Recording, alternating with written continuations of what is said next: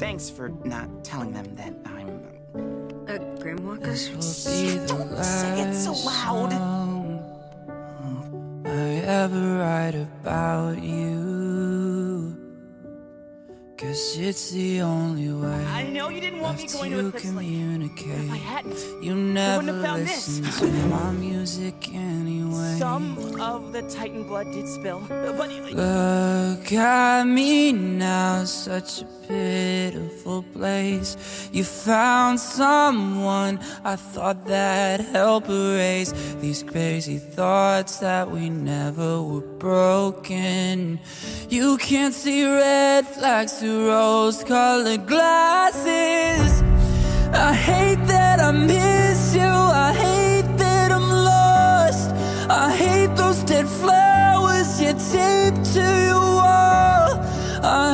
That you're okay and I can't move on.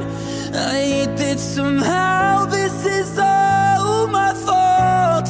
I hate that I'm wide awake watching the door.